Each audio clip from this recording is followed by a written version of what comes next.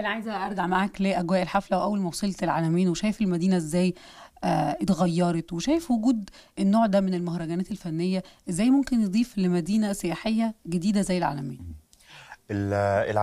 وال- والساحل عموما آه، هو أصلا دايما في الشهور دي بيبقى الأجواء بتاعته حلوة قوي المهرجان ضاف لمسة يعني فنية كده حلوة للساحل وبعدين اختلاف الثقافات في كل ال ال ال الأحداث اللي بتحصل المهرجان العالمين مش بس الغنى في آه، مسرح وفي فنون شعبية وفي حاجات كتير قوي حتى أنا ويعني كذا اريا كمان تابعت طيب الماتشات اللي كانت بتحصل ونجوم الجيل أيوه الذهبي؟ طبعا طبعا تابعت ماتشات نجوم الجيل الذهبي آه، متعب والصقر طبعا و...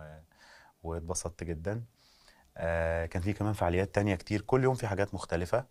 وكل يوم في أغاني برضو حتى لو مش على المسرح آه، آه، الإرينا بيبقى فيه في حتة تانية غنى فالحقيقة آه، اختلاف كمان ال... ال... الجنسيات اللي بتيجي تغني ده بيخلي ال... ال- السياحة بشكل أكبر على الساحل الشمالي أكتر كمان من الأول مع إنه هو أصلا اوريدي مليان يعني. طيب ده اللي يضيفه المهرجان لمدينه العالمين.